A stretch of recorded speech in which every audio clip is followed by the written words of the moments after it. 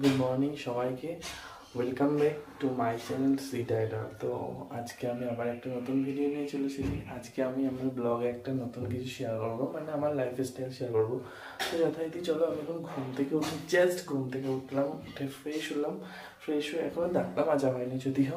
আমি এবার কি করছি বা না করছি সেটাই তোমাদের সাথে শেয়ার করব। তো সবার ফার্স্টে আমি ভাত, আমি রান্না করব। তো আজকে রান্না করব, রান্নার ব্যাপারটাই আমি শেয়ার করব।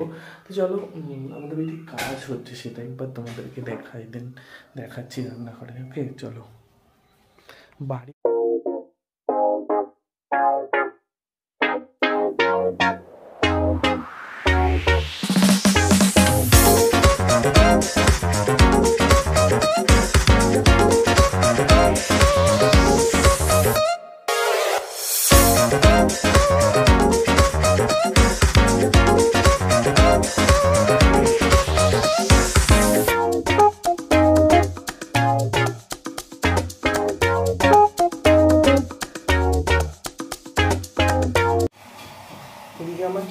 চালের জলটা ফুটে গেছে ভাতের জলটা এর মধ্যে ভাতটা দিই চালটা দিয়ে দেবো। চলো।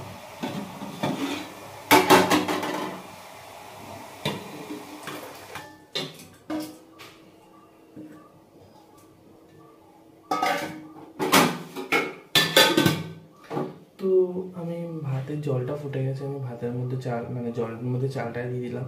এবার আমি যেটা করব সেটা হচ্ছে এই যে মাছটা ধুয়ে নিয়েছি, মাছের মধ্যে নুন, হলুদটা মাখিয়ে কিছুক্ষণ রেখে দেবো।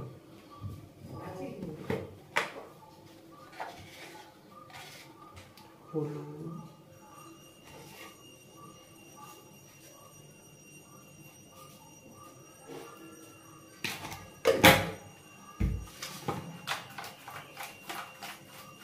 তো মাছে নুন, হলুদ দিয়েছি এবার মাছটা ভেজে নেব। না, আগে মাছটা ভাজবো না, আগে আমি মাছের আলুটা কেটে নিই, তারপর হচ্ছে যে শাকটা রান্না করব, সেই শাকটা, না, মাছের আলুটা কেটে নিই, তারপরে এই শাকটা।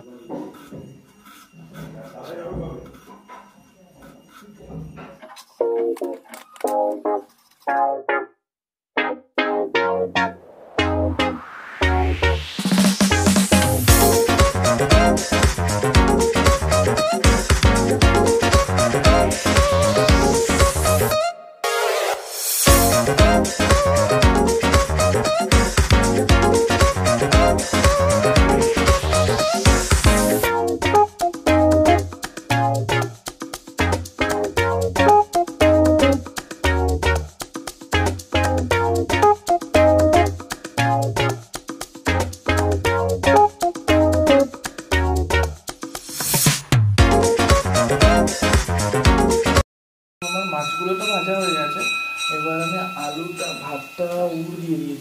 ভাতটা মারটা ঝরছে। এবার আমি আলুগুলোকে ভেজে নিচ্ছি, মাছের আলুগুলো।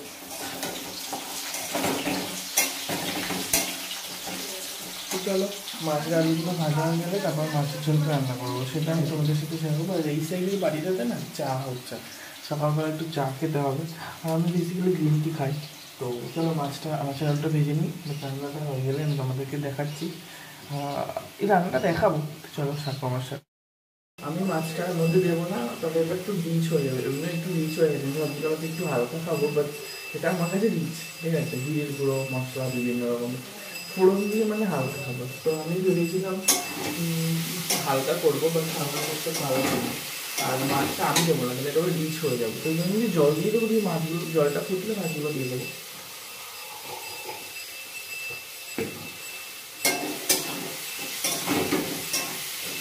তো মশলাটা গেছে আমি জল দিয়ে দিলাম।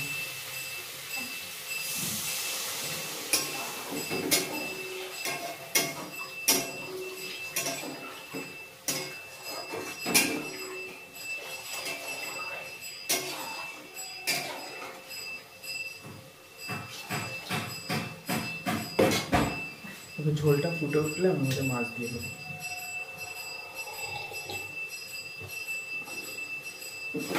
এদিকে আমার বাইরের খিচুড়িটা হচ্ছে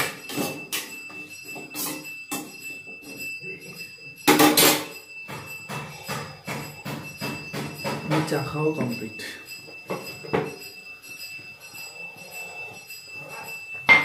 চলো, মাছটা একটু মানে ঝোলটা গরম মানে একটু ফুটুক, তারপর আমি আবার আসছি, ঠিক আছে? এখন আমি একটু, এখন আমি কী করব বলব তখন আমি মানে হচ্ছে যে পাট শাক কিনেছিলাম, সেই পাট শাকের প্রিপারেশনটা তৈরি করব। তো ফার্স্ট প্রিপারেশনে আমি শাকটাকে কেটে ধুয়ে নিয়েছি ভালো করে, বেছে। এবার এর মধ্যে আমি পেঁয়াজ আর রসুন আর কাঁচা লঙ্কা। এটা শুকনো লঙ্কা দিতে হয়। সরি ওটা শুকনো লঙ্কা দিতে হয় আমার ঘরে, শুকনো লঙ্কা নেই বলে আমি কাঁচা লঙ্কা দিয়েছি। পেঁয়াজ, রসুন, কাঁচা লঙ্কা আর একটু কালো জিরে। তো তেলটা গরম হলে এগুলো দিতে হবে। দিয়ে তারপর শাকটাকে নাড়তে হবে। কিন্তু শাকটাকে আমি একটু কেটে নিচ্ছি করে ঠিক আছে চলো। চলো এবার আমি পাট রান্না করব, সেটা তোমাদেরকে দেখাবো। তো শাক রান্না করার জন্য কড়াইতে তেল দিচ্ছি।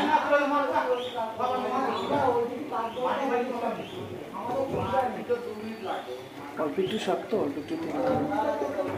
তো তেলটা গরম হোক, তেলটা গরম হলে এর মধ্যে আমি যে কালো জিরে।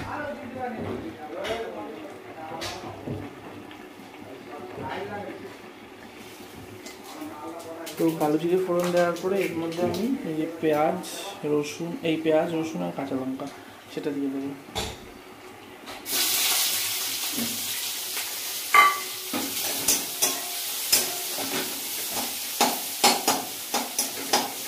এবার এটা একটু ভাজা ভাজা হলে এর মধ্যে আমি শাকটা দিয়ে দেবো, ঠিক আছে? চিনি লবণটা দেবো পরে, আগে এই শাকটা দিয়ে শেয়ার করা হয়নি। এই যে। নামিয়ে নিয়েছি মাছের ঝোলটা। তো আমার পাট শাক প্রায় রান্না কমপ্লিট হয়ে গেছে। আর একটুখানি ভেজে তারপর নামিয়ে নেব। ঠিক আছে? তো নামিয়ে নেওয়াটা, তো আমার পাট শাক রান্না করা হয়ে গেছে। তোমরা দেখতেই পাচ্ছ, পাট শাক করা হয়ে গেছে, মাছের ঝোল রান্না করা হয়ে গেছে। মাছ ভাজা রেখেছি দুটো। আর কালকে একটু ডাল ছিল। ভাবছিলাম ডালটা রেখে দিই। তো না, ডালটা আমি খেয়ে নিলাম, রান্না করে নিলাম। মানে একটু গরম করে নিলাম। ডালটা নষ্ট করে কী হবে? ভাত রান্না করা হয়ে গেছে। তো রান্নাটা এবার আমি স্নান করব, স্নান করে অফিস যাওয়ার জন্য রেডি হব, তো সেটা আমি অন্য কোনো দিন শেয়ার করব। এখনকার মতো ভিডিওটা এখানে এড করব ভিডিওটা অনেকটা বড় করে তো লাভ নেই। তো কালকে ডালটা যেটা দেখছি, সেটা দেখাচ্ছি, টক ডাল রান্না করেছিলাম, সেটা তো আবার সবার সাথে শেয়ার করিনি। তো যেরকম আমার পাঁচটা হয়ে গেছে আমি আছে? তো আর এখন পর্যন্ত ভিডিও এখানে এড করব। টাটা। তো ভালো লাগলে প্লিজ লাইক শেয়ার সাবস্ক্রাইব করবে। আর আমার চ্যানেলে এরকম আমার লাইফস্টাইল কিছু ব্লগ ভিডিও দেখার জন্য অবশ্যই সাবস্ক্রাইব করতে হবে। যদি করো তোমাদের জন্য আমার ভালো লাগবে। যাই হোক, আর আমাদের ভালো লাগলে তোমারও নতুন নতুন ভিডিও তোমরা দেখতে পাবে। তো এখন পর্যন্ত টাটা হ্যাঁ? ভিডিওটা এখানে এড করে দিচ্ছি।